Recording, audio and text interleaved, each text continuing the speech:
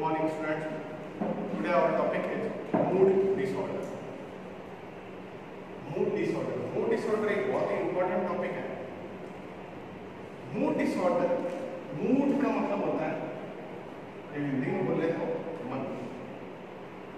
और जो मूड है वो हमेशा एक ही जैसा नहीं रहता कभी हाई होता है कभी लो होता है कभी मिडिल चलता है मतलब कभी अपन ज़्यादा खुश होते हैं, कभी अपन दुखी होते हैं, और कभी नॉर्मली अपन लाइफ है जो चलती रहती है। तो मूड हमेशा एक ही लेवल के अंदर नहीं रहते, हमेशा खुशी नहीं रहते, या हमेशा अपन दुखी नहीं रहते, या एक ही लेवल के अंदर अपना मूड बनाव नहीं रहता। तो ये एक नॉर्मल ह्यूमन बींग का मूड होता है जो वेरी करता रहता है time to time time place person हर जगह अलग अलग मूड अपन शो करते रहते हैं। तो ये तो होता है नॉर्मल मूड और मूड डिसऑर्डर कब कन्वर्ट होता है? मूड डिसऑर्डर जब कन्वर्ट होगा, जब कोई भी स्पेशल टाइप का बिहेवियर और मूड काफ़ी टाइम के लिए, कुछ हफ्तों के लिए और हफ्तों से लेकर साल तक, महीनों तक एक ही टाइप का बिहेवियर लाइक मेनिया या डिप्रेशन चलता रहे तो उसको अपन बोलेंगे मूड डिसऑर्डर तो सबसे पहले मूड डिसऑर्डर वर्ड इस डिसऑर्डर के बारे में अपन पढ़ते हैं। इसके अंदर, अंतर्गत I C D ten ICD ten के अकॉर्डिंग अपन इसको पढ़ते हैं। ICD ten international statical classification of diseases and related health problems ये क्लासिफिकेशन इंटरनेशनल क्लासिफिकेशन है। इसके अंदर जितनी भी डिज़ीज़ होती है मेडिकल साइंस के अंदर, वो सारी की सारी इसके अंदर रखी हुई है। और इसके चैप्टर एफ़ के अंदर, इसके चैप्टर एफ़ के अंदर, चैप्टर एफ़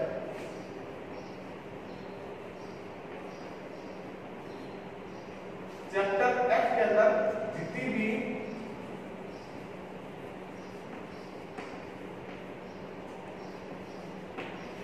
साइकेट्रिक डिसऑर्डर है जितने तरह के भी साइकेट्रिक डिसऑर्डर है, वो सारे के सारे अपन एफ़ चैप्टर के अंदर पढ़ते हैं। अब जो बात करते हैं अपन, ये कि जो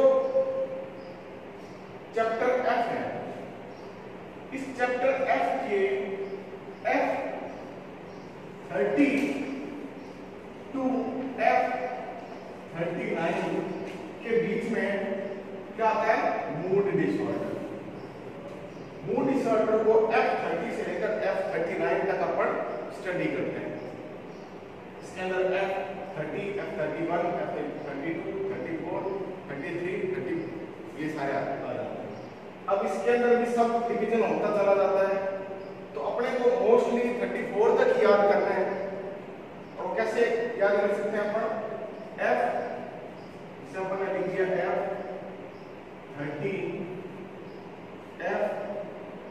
31, 32, 33, 34 इस 30 के अंदर आ जाता है और एक ट्रिक है याद करने के लिए। M B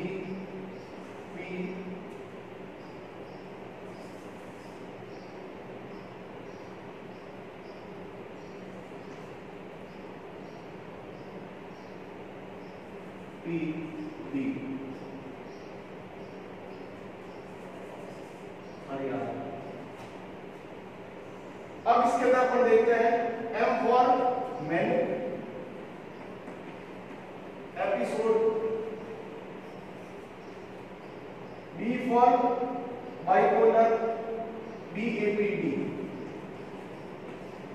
bipolar affective disorder third है depressive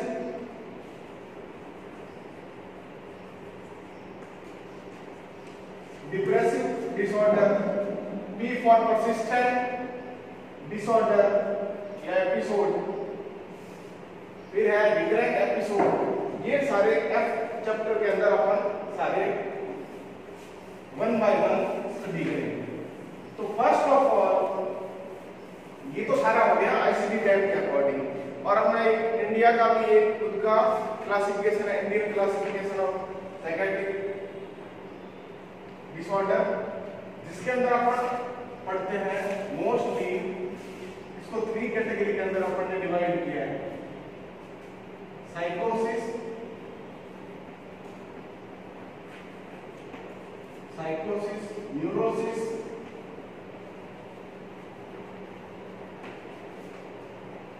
and other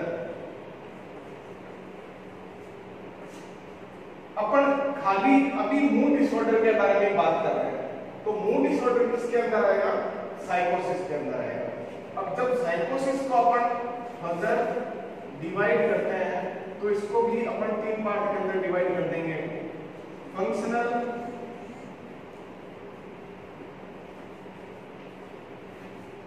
organic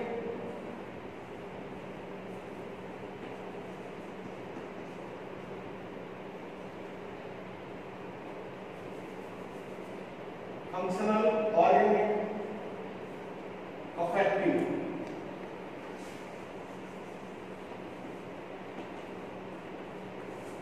functional organic affective और इस अफेक्टिव के अंदर अपन क्या स्टडी करते हैं मूड अफेक्टिव के अंदर अपन मूड डिसऑर्डर है, जो पूरा स्टडी करेंगे। और इसके अंदर भी क्या आएगा? मेनिया एंड डिप्रेशन इन सब के अंदर अपन पढ़ेंगे मैनिया और depression Indian classification of psychiatric disorder के अंदर सबसे पहले तीन पार्ट के अंदर डिवाइड किया साइकोसिस neurosis and other and special disorder फिर अपन सब डिवाइड किया साइकोसिस साइकोसिस को फिर अपन फर्दर डिवाइड किया फंक्शनल ऑर्गेनिक अफेक्टिव और जो मूड डिसऑर्डर है वो अपन पढ़ते हैं अफेक्टिव डिसऑर्डर के अंदर mania and depression understand? Now our next and first point or episode is manic episode manic first of all manic manic episode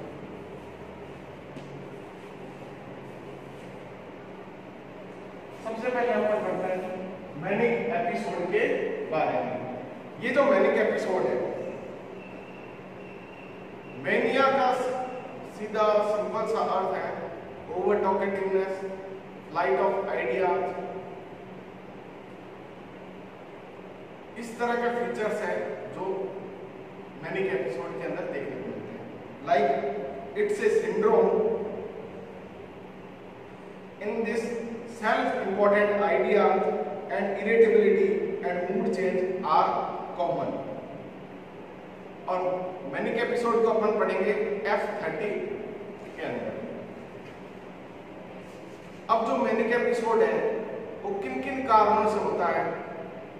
तो वन बाय वन इन सबके अपन इटियोलॉजिकल फैक्टर्स हैं, जो देखेंगे of the aetiology of manic episode मैंने episode aetiological aetiology के बारे में aetiological factors के बारे में देखा तो मैंने के एपिसोड के अंदर अपन ने देखा it's a syndrome over activity mood change self important idea और इसका रिस्क होता है zero point eight to one percent all over the population ये पूरी ऑल ओवर वर्ल्ड की पॉपुलेशन को अफेक्ट करता है।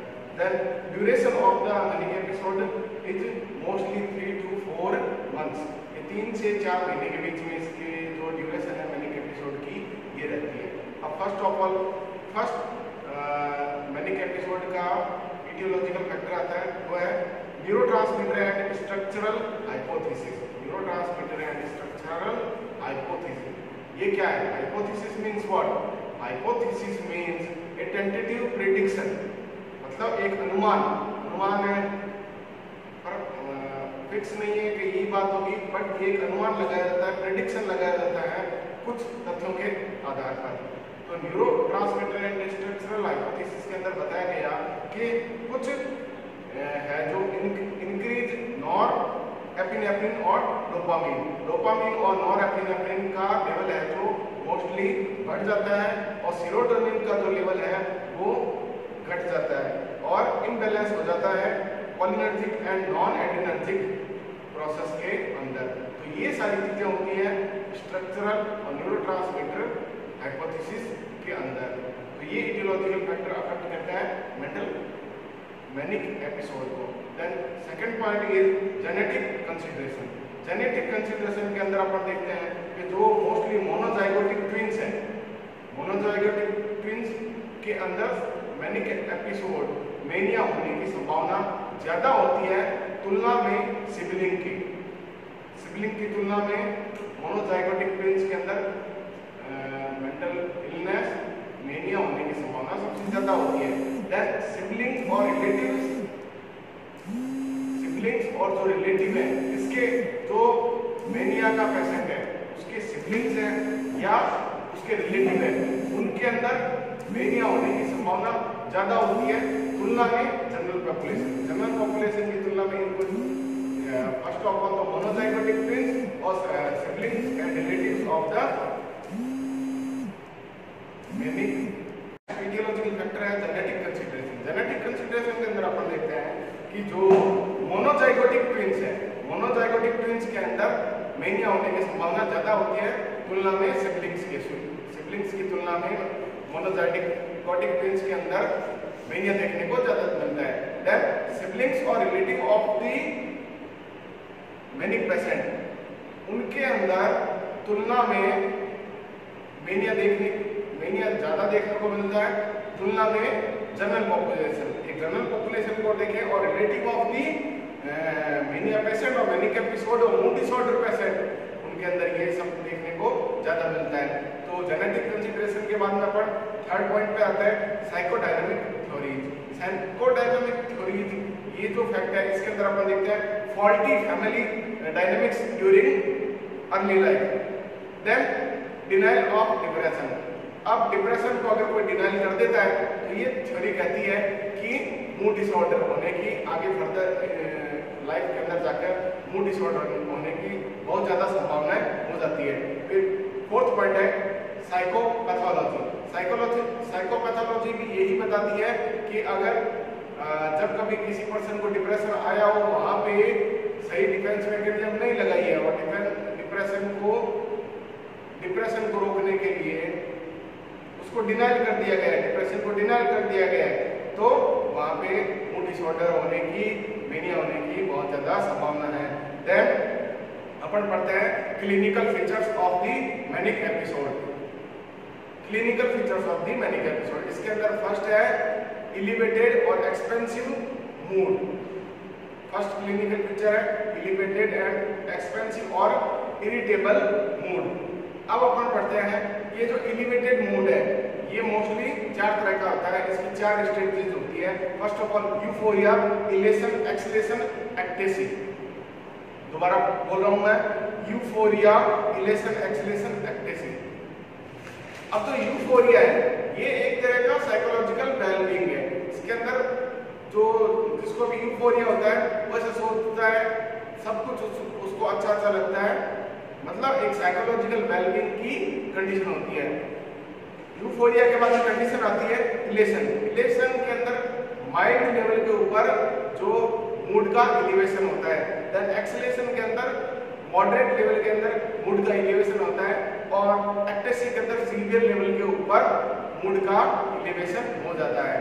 देन अपन नेक्स्ट देखते हैं साइकोमोटर एक्टिविटीज़ भी डिस्टर्ब हो जाती है। इसके अंदर ओवर टॉकेटिवनेस रेस्टलेस भी आ जाती है।